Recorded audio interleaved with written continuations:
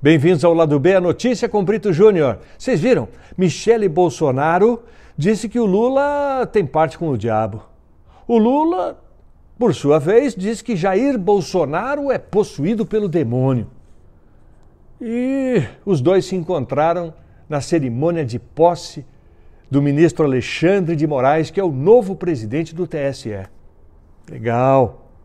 Lá também estavam, na mesma cerimônia, a Dilma o Temer e o Sarney, lado a lado.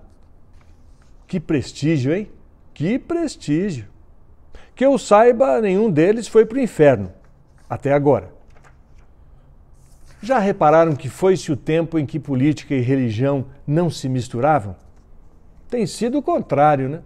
Nessas eleições aqui, a disputa é pelo voto dos evangélicos.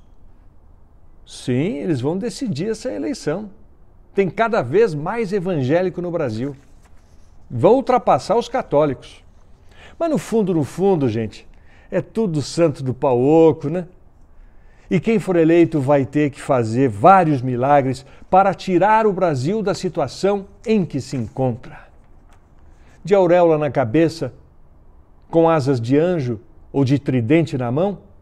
Na verdade, pouco importa para o eleitor se os políticos vão ou não vão para o céu. O que o eleitor brasileiro precisa mesmo, urgente, é que eles tirem o Brasil desse purgatório em que se encontra.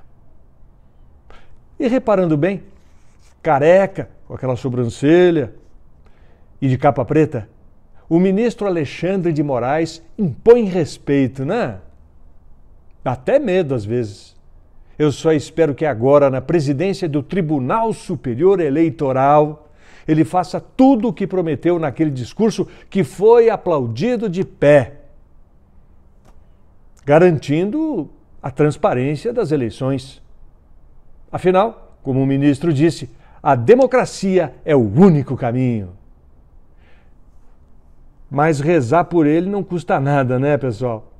Inscreva-se no canal e ative as notificações que a gente se fala na próxima crônica aqui do lado B, a notícia com o Brito Júnior. Tchau.